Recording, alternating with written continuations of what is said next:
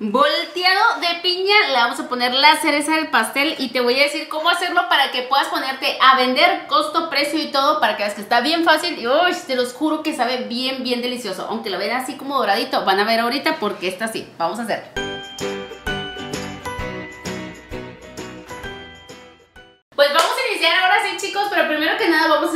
Caramelo para ponerlo en nuestros moldes y esto va a estar súper sencillo, así que vamos a hacerlo. Vamos a poner un cuarto de taza del jugo de la misma lata de la piña, una taza de azúcar morena o azúcar estándar, la vamos a poner aquí después del jarabe.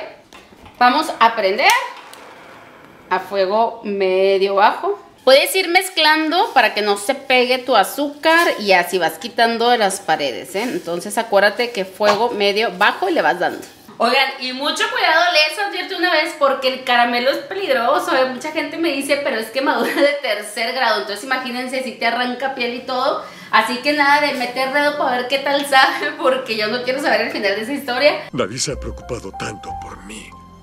Entonces mejor nada más le van mezclando y espérense que llegue a punto de hervor y van a agregar su mantequilla. Pero aquí mucho ojo y que no haya niños cerca porque donde metan la manita, chicos, de verdad, o que les caiga alguna carita, no quiero pensar en eso. Así que eviten y tengan cuidado. ¿Qué haría esta ciudad sin ti, Bob Esponja? Llegó a su punto máximo de hervor, entonces vamos a apagarle. Si era apagarle, Y vamos a agregar 70 gramos o casi la barrita de mantequilla aquí oigan, la voy a agregar con cuidado. Hasta a mí me da miedo los caramelos porque tengo historia, oigan. Y vamos a mezclarle. Y ya quedó nuestro caramelo. Vean qué bonito. Está bonito. Así lo van a dejar y lo vamos a vaciar. Oigan, y eviten el vidrio cuando estén sirviendo cosas. De Argenis me está diciendo, Dani, ¿cómo, cómo es posible? Pero sí, porque al menos que sea vidrio que resista así, si no, pues de preferencia. un, un topper que sepan que aguante. Pensar correcto es lo que hago. Vamos a poner 50 gramos o un cuartito de taza de caramelo. Yo voy a poner un poquito menos del, del cuartito para nuestros seis moldecitos. Lo vamos a vaciar aquí. Y ya vaciamos todos. Aproximadamente nos va a salir como para unos 6. No, miren, yo creo que sí, 8 moldecitos, ¿eh? Aquí. Importante es hacer que se vaya todo, todo hasta la orilla. Pues ya tenemos nuestros moldes listos, ven qué bonitos se ven. Y ahora sí, ya tenemos esto y el precio total de este caramelo fue de 20 pesos. 20 pesos mexicanos, un dólar americano aproximadamente. Y nos rinde como para 6, pero la verdad es que yo el rendimiento todo me va a salir como para dos más de moldes de 10 centímetros. O sea, estos moldecitos son de 10 centímetros, esto está perfecto. Y vamos al siguiente paso que es poner nuestra piña. Pues me animé y siempre sí íbamos a hacer los 8 porque dije, oigan, 8 rebanadas y tengo más moldes, pues hay que ocuparlo. A eso se le llama estrategia. Entonces nos vamos a hacer un poquitín más, ¿sale? Y el caramelo nada lo volví a calentar un poquito y vuelve a tomar consistencia líquida para poderlo volver a usar. Vamos a poner la piña que sale la lata en 45 pesos y son como 8 pedazos los que vienen así, 8 rebanadas. Vamos a ponerlas aquí en todos nuestros moldes. Vamos a hacer lo mismito, presionas un poquito, ¿sale? Vamos a la parte de nuestro batido, que ya va a ser así el de piña delicioso esponjadito. Y para esto vamos a necesitar los siguientes ingredientes. Vamos a agregar lo que son 300 gramos o una y media taza de azúcar refinada, que vendrían siendo 10 pesos. Vamos a poner 5 huevos, que es igual a 15 pesitos mexicanos. Los vamos a poner también aquí. Vamos a poner 250 gramos de mantequilla, que son como 3 barritas de las que encuentran de 90 gramos o 80, porque depende cómo las encuentren, que son... ¿cuánto? 47. 47 pesos mexicanos. Oigan, la mantequilla sí está elevada, ¿verdad? Pero pues así pasa. Vamos a ponerlos todos. Vamos a batir, a hacer nuestro brazo pastelero. Y tiene que quedar bien acremadito. Ya saben los que han visto videos que debe llegar al punto de blanqueado. Miren qué bonito. Oigan, cabe destacar que aquí está haciendo muchísimo calor. No puede hacer tanto calor. Entonces como que se nos puede desgrasar un poquito la mantequilla. Si ven que empieza ese punto, inmediatamente paren para ya agregar nuestra harina y nuestro polvo de hornear porque aquí hace un, ¿cómo estamos? Un calorón. Vamos a nuestra harina que es harina simple de trigo. Van a ser 8 pesitos que son 310 gramos o lo que es 2 tazas y media de harina. Vamos a poner una cucharada completa de la de 15 mililitros de polvo para hornear. Mezclamos estos dos muy importante, vamos a poner un pesito de sal, pero sí pónganlo porque ya saben que ayuda a resaltar los sabores. Entonces ponemos nuestra sal y vamos a ir intercalando nuestra harina junto con media taza de jugo de piña que puede ser de la misma lata. Acuérdense que yo voy a aprovechar al 100% el producto que tenemos, pero puede ser jugo o el mismo lata de la piña. Y vamos a poner también media taza de leche, que, ¿cuántas? que son 3.50 pesos mexicanos que vamos a ir intercalando con nuestros secos. Mezclamos un poquito con la sal y vamos a ir poniendo harina y húmedo. La leche, otra vez más seco, nuestra leche y finalizamos con nuestro jugo de piña, lo vamos a agregar todo de una vez y batimos todo. Y por último, muy importante, ya saben, raspar, aunque utilicen esta batidora manual, oigan, porque está pesadita la mezcla. Y de verdad que ya cada batida está así como, ay, caray. Pero, Es muy hábil. pero bueno, haz cuenta que el gimnasio en casa, ¿verdad? Haz cuenta que estamos haciendo ejercicio. Y ya que raspamos hasta el fondo y en la orilla, vamos a poner nuestro último ingrediente que va a ser una cucharadita de 5 mililitros de vainilla o un chorrito. Y la última batida de unos 20 segundos. Y vean qué bonito quedó el batido. Oigan, y tiene un olor delicioso, deliciosa mantequilla. La piña también tiene su aroma, entonces está súper rico. La,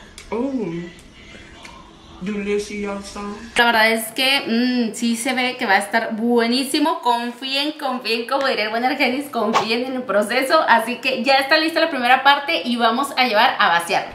Ah, ah, y ya sé que van a decir que cuánto cuesta, pero antes que nada suscríbanse al canal, que acuérdense que tenemos videos cada viernes a las 11 de la mañana, videos nuevos de recetas, pónganme por ahí que quieren ver más. Y estoy segura que ya están diciendo de que Dani, pero ¿cuánto costó el batido? Y el batido costó, se fue, no, se fue.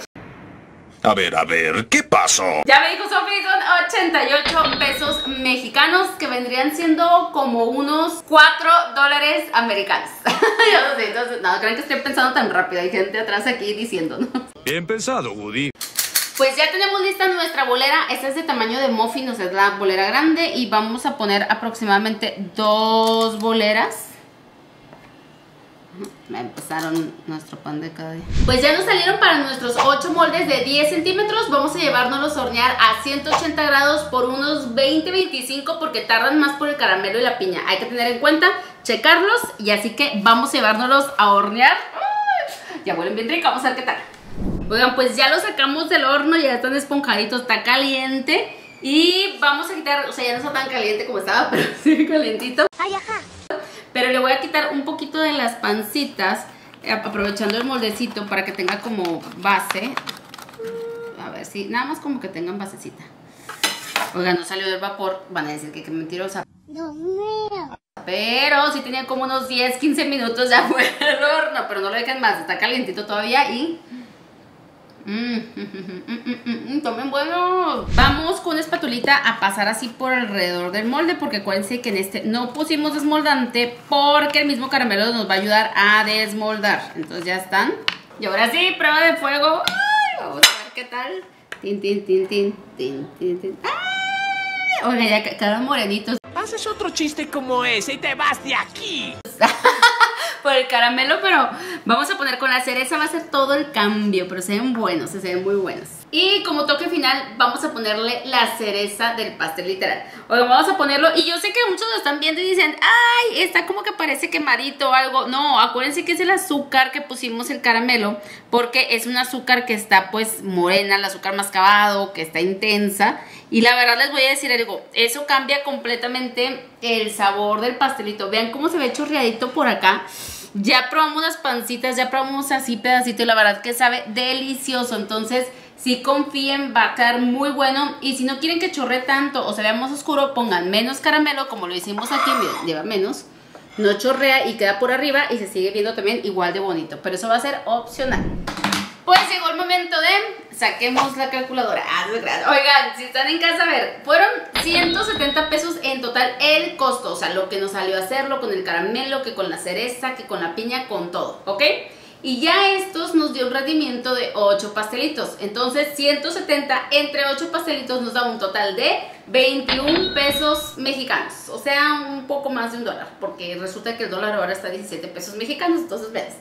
Y pues ya con esto, chicos, 21 pesos nos va a dar para ponerlo en precio. Porque una cosa es el costo y otra cosa es el precio. Acuérdate que es para sacar tus ingredientes, este, para comprar los próximos y una ganancia para ti en parte. Pues nosotros recomendamos que lo des en unos 65 pesos mexicanos. Entonces, de esta manera, pues puedes tener un buen dinerito, ¿no? Estamos hablando que son 65 por 8 es igual a 520 pesos. Ah, pues traen calculadora muy bien, muy bien. 520 pesos mexicanos, que es lo que nos salió, pues bien, bien, ya de, ahora ya tengo dinerito para volverlo a trabajar, ¿sale? Y pues bueno, vamos a probarlo. Oigan, pero primero que nada quiero que vean esto. Chequen lo esponjadito que está. Está súper, si se ve ayer que viene esponja así.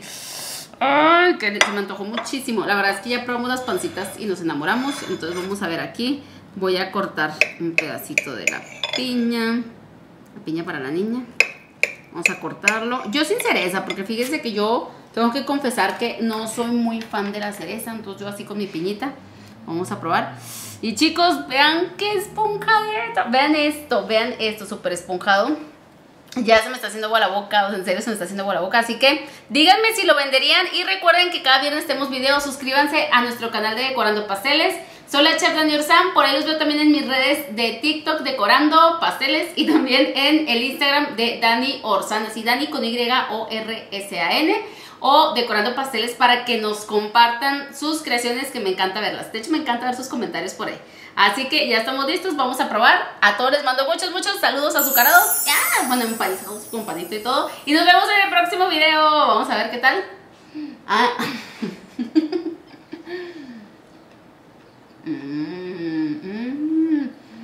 Ni humedad ni nada necesita, ¿eh? Mm. Así como está, está perfecto. Háganlo, háganlo y platican.